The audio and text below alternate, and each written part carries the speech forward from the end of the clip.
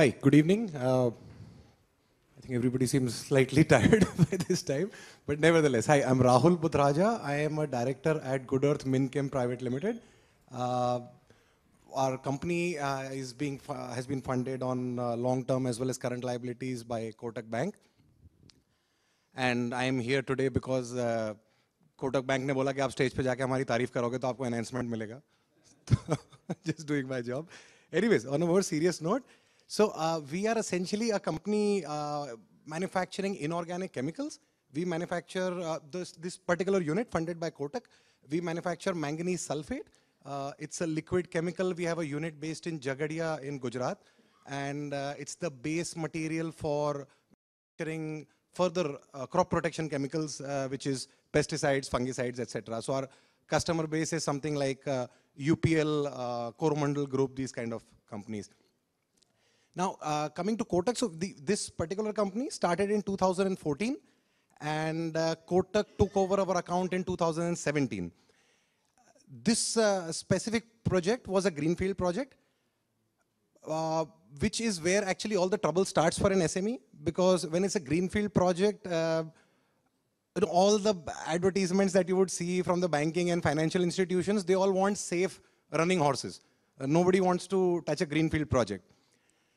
Uh, So initially we started with the PSU bank. Uh, we started at uh, pretty high, you know, interest rates, high processing charges, slow processing time, all those things because we had basically no choice being a greenfield SME project.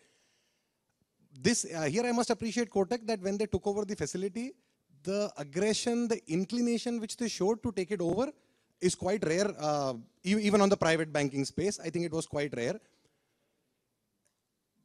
Uh, something in particular which I would mention, while taking over, we actually requested for an enhancement, which was uh, a bit of a difficult request for uh, any bank because, you know, आपको bank नहीं मिल रहा है और आप enhancement की बात कर रहे हो, how is that going to happen? But it did happen, uh, and it happened not because of CMA data, not because of collateral, not because of you know financial ratios. It actually happened because some really senior people from Kotak came down to Nagpur, uh, met us, met the promoters, understood the business model, gained comfort in the promoters' ideas, foresight, and actually went ahead with that enhancement during the takeover. So in 2017, they took over. In 2018, our sales were double of 2017. It, it was really uh, because we could see the business coming in, but unfortunately, most banks can't. Uh, so here, I believe that understanding the business model played a much bigger role than you know just looking at financial ratios. Other than that, so, uh, yeah, like I mentioned, it was a greenfield project, not just greenfield in terms of a new factory, but in banking parlance, anything with less than three balance sheets of sales is considered a greenfield. They took it over when it was just one balance sheet, and that to a three-month balance sheet. So, th- that's really something. Second thing I really appreciate, uh, at the local level, uh, so I, I know most banks don't like this, but unfortunately, it is true that in a small tier two, tier three city like Nagpur, the local branches are merely sending your requests upstairs and then getting the decisions and sending them back to you. Uh, no assessment as such is happening at the local level. So in Kotak's case, that is true as well. But the difference is that the local team here, based out of Nagpur, has a great rapport with the team in either Pune or Mumbai, the, the bigger decision-making executives, which is where we've seen proposals, uh, new products, uh, forex requests move very fast as compared to uh, not just PSU banks, I'm talking even other private banks. So that was something we really appreciated. The, they do have innovative products now. I, I don't know how innovative this product is, but at least for us, it was the first time. It's something they call SIF, which is Sales Invoice Financing. So uh, with the current NPA scenario, banks are a little hesitant in giving open credit and giving open CCs, which is where this product really comes in well. So if you have a good rated customer, like all our customers are multinationals, and if you have customers like that, instead of you know waiting three months or six months for an enhancement in CC and then hoping to buy raw material, then producing, then selling, instead of that, if you could just you know uh, the good quality sales invoice, what I would call, which is an invoice given to a reputed customer, you would have a sanction in like a week's time. this is something really helpful. I, am not sure if other banks are offering uh, this product, but uh, at least to us, this was the first time. So that was very helpful. Most places, uh, this would be more on the public sector side. There would be formats, uh, there would be boxes, and you have to fit into that box. Uh, the product, I mean, whether it is your LER limit, whether it is your CC, whether it is your packing credit, you have to fit it in.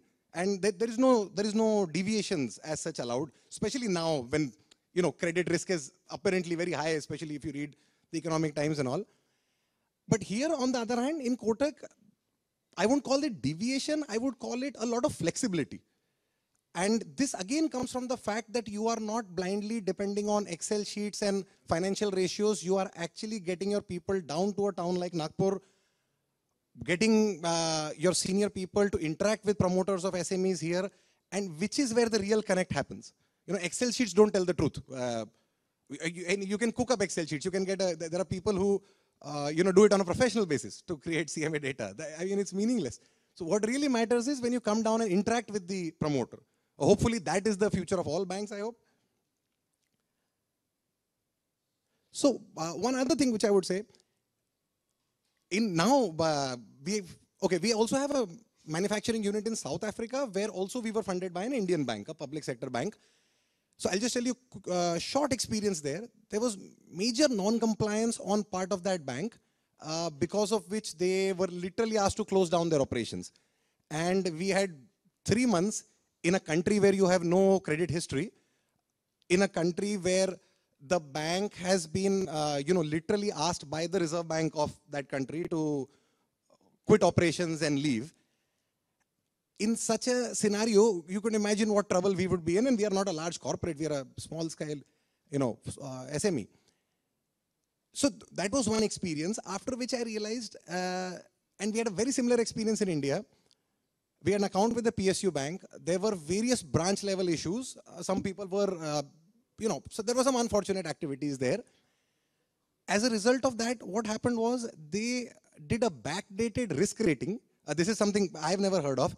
They referred to a balance sheet, which uh, an audited balance sheet one and a half years ago, saying you didn't meet your sales targets there, and that is why your risk is high. So for the last 18 months, retrospective penal interest was charged and auto debited to the account.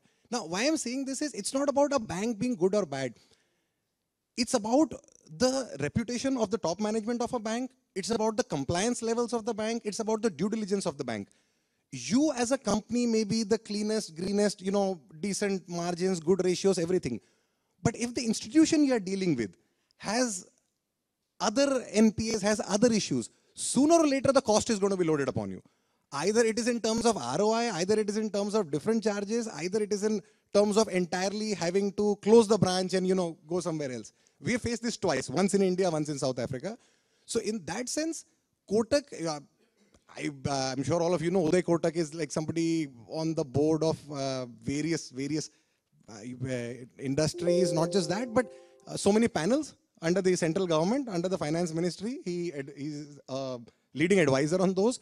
So those kind of things, at least to people like us who have suffered these experiences, really matter. Uh, I would always prefer to stick to a institution with a crystal clear reputation, with a better due diligence, uh, rather than, you know, for a half a percent go somewhere else. Like people who put their fixed deposits in the, okay, the Punjab Maharashtra Cooperative Bank for what, 1% extra. What, what happened, right? So stick to institutions with reputation, not, not with institutions with the lowest cost. I think that more or less sums up. Uh, yeah, so a couple of uh, suggestions, if I may, uh, towards, uh, not, not towards Kotak in particular, but from an SME experience, how banks can support uh, SMEs further. Despite all talk on uh, news or commitments or advertisements, you know, grow with us and all that, it doesn't really happen. So, especially in smaller towns, especially in a place like Nagpur. A personal experience, so uh, we have had good experience with Forex in Kotak. We, uh, in this particular unit, we have a lot of US dollar sales to SEZ units. So it's almost at par with the physical export in terms of, uh, you know, US dollar invoicing, Forex receipts, packing credit, etc. So we have had a great experience. Uh, no complaints there. But the always the core talent of any forex team, unfortunately, still resides in either a Mumbai or a Delhi or a Pune. The, the core, no, in my entire experience with at least four different banks in Nagpur, there is not a single bank who has a central team which you know, has enough experience and knowledge to guide a new exporter, to guide a new importer, or even uh, deemed exporter for that matter. So that is something that would really help if, you know, if the first bank could be Kotak or, you know, another bank, having a central team. I understand it's a higher cost issue and you probably can't do it at each branch level, but just a central processing team on Forex who could guide an SME would be very helpful. Uh, second thing, most banks uh, get their A team to, you know, a Nagpur or a Bhopal or a Indore and do amazing takeovers, reduce your interest rates, give you enhancements and everything. And unfortunately, five or six years uh, down the line, that team disappears. So dealing with a bank is, uh, the, the, bank is a brand, it is faceless, right? At the end of the day, you're dealing with your relationship manager, you're dealing with your, uh, branch manager or your credit guy. So I would uh, only request uh, to maintain the same talent. Of course, I understand the banking industry has norms wherein you have to shuffle people. You can't have the same guy sitting on the same place for 10 years. That can't happen. But at least maintain a similar talent pool at, at in a smaller town. In a Mumbai, you would never have an issue. Whichever bank you deal with, you feel the service is amazing. But that's not because of the bank per se. That's because of the talent pool that they retain in a bigger town. So if that is something that could be done at a place like Nagpur, it would really, really be uh, very supportive for the SMEs. Yeah. So I think that's about it from me. Thank you so much for bearing with me.